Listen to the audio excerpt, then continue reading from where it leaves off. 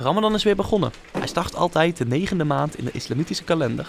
Die maand vasten moslims tussen ochtendschemering en zonsondergang. Buiten die tijden om is er ruimte om feestelijk met z'n allen te gaan eten. Ik heet jullie welkom bij eh, een iftar, uh, het vaste breken. Een, een dag uh, georganiseerd door Renewed in Tilburg.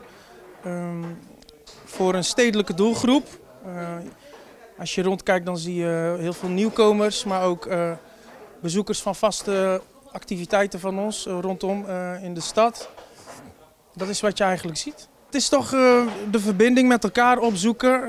er zijn een hoop nieuwkomers ook die geïsoleerd leven. En geen, niet van in hun sociale omgeving mensen hebben die een iftar faciliteren voor ze. Dus dan ben je best wel eenzaam. Gelukkig proberen organisaties als Renewed ervoor te zorgen dat deze eenzaamheid weggaat. We zitten hier vandaag uh, met heel veel uh, verschillende jeugd, uh, verschillende culturen, verschillende geloven. Wat natuurlijk heel mooi maakt. Het is één gezellige pot wat hier allemaal aanwezig is. Verder wordt samen natuurlijk gezellig gegeten. En ja, dat vooral. Een goede voorbereiding. die hebben we zeker gehad met jongeren en stagiaires.